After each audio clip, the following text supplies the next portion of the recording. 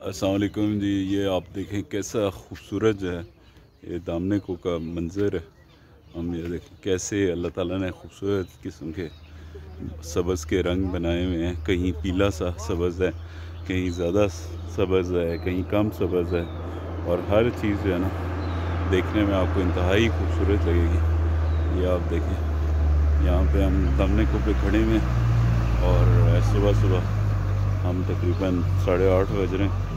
ये देखो कैसे खूबसूरत जो है, ये फूल भी हैं।